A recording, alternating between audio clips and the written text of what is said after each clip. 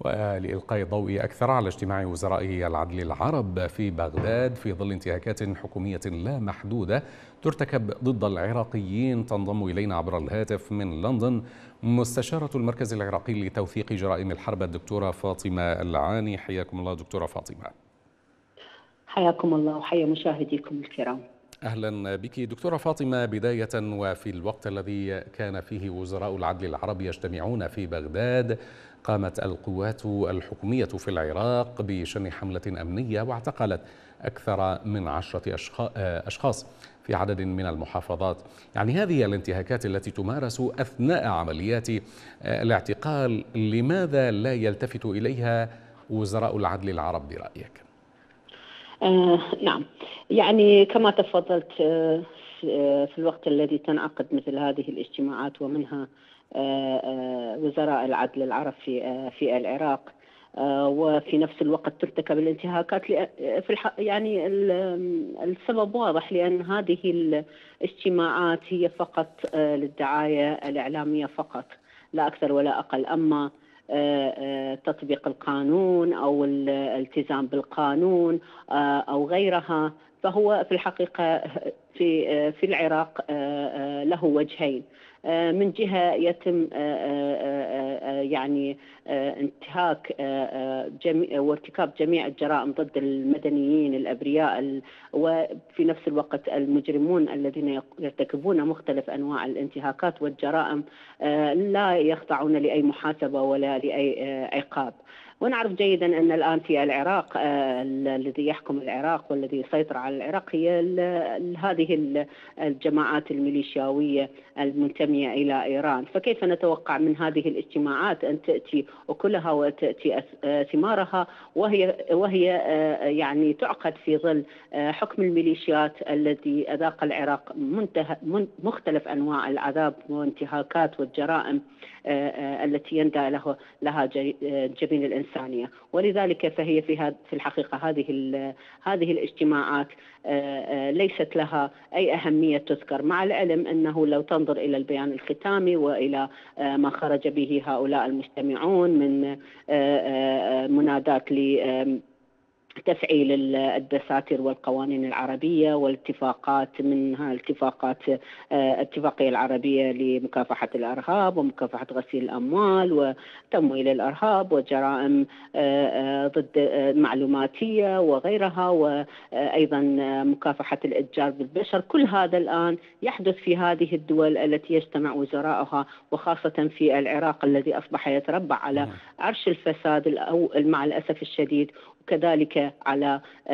عرش مختلف أنواع الانتهاكات والجرائم التي ارتكبت على أرض العراق في في ظل هذه الميليشيات وهذه الأحزاب التي جاءت مع الاحتلال الأمريكي من عام 2003 دكتورة فاطمة يعني كما اشرتي ولكن ما الذي يفهم من عقد هذا النوع من الاجتماعات في العراق الذي كما ذكرت أيضا يعني يعاني من الفساد ومن عدم المحاسبة ويعني الأمور خارج نطاق القانون بشكل عام لماذا العراق؟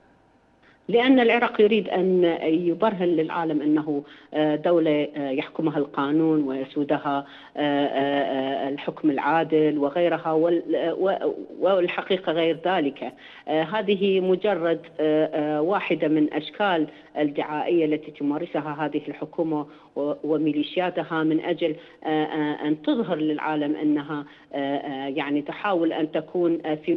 مركز القيادة ومركز الرائد في تطبيق العدل وتطبيق القانون. يعني هي مجرد محاولة لتبييض الوجه لا أكثر ولا أقل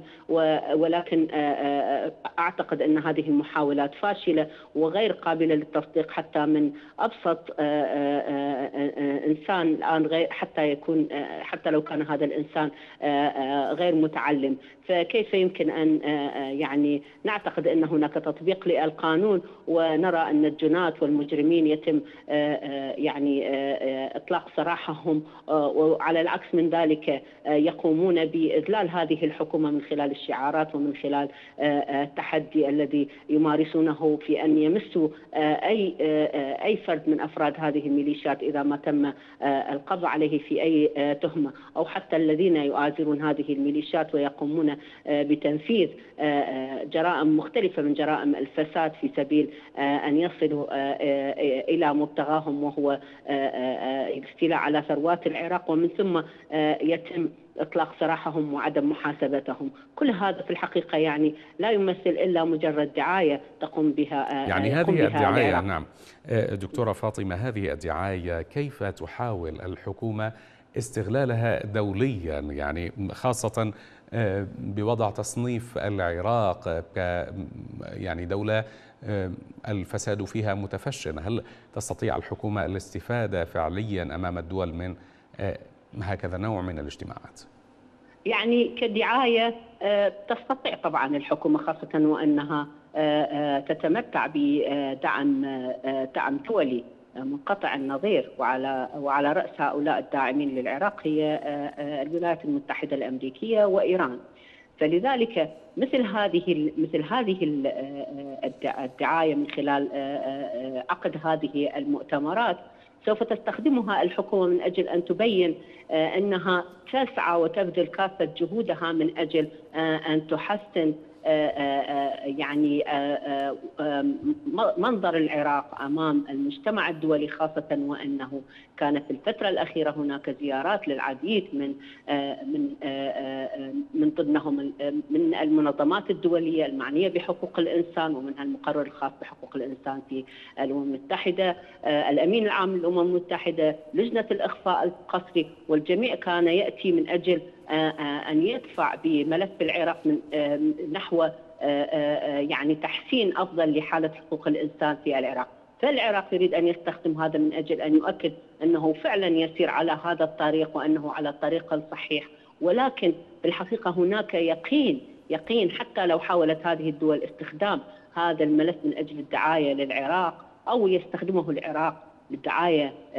لصالحه ولكن يقين المنظمات التي التي الغير خاضعة للحكومة والتي تعمل على جمع الملفات وإيصال كل ما يتم ارتكابه من جرائم في العراق وانتهاكات. في الحقيقة لديها قناعة كبيرة أن كل ما يقوم به العراق مجرد حبر على ورق وليست له أساس من الصحة. ولذلك فهي هذه الدعاية كما كما قلت لك يعني يتم استغلالها في جهتين. أحد الجهات هي فقط مجرد دعاية واضحة للمعنيين بحقوق الإنسان والذين لا يستطيع أحد أن يؤثر عليهم ولا يستطيع أن ان أن يقول ويقنعهم إن مثل هذه الدعايات هي تغيير حقيقي وجذري في حالة حقوق الإنسان. في العراق لأنه لو كانت هناك تغييرات جذرية لكانت ظهرت إلى العيان وليس كما تفضلت آخرها الاعتقالات في مختلف العراق. وكبت الحريات ويعني ملاحقة جميع الناشطين والصحفيين الذين ينادون بضرورة وينشرون ما ما يقع في العراق من من فساد من من أو من انتهاكات. نعم اذا كنت ضيفتنا عبر الهاتف من لندن مستشارة المركز العراقي لتوثيق جرائم الحرب الدكتورة فاطمة العاني شكرا جزيلا لك.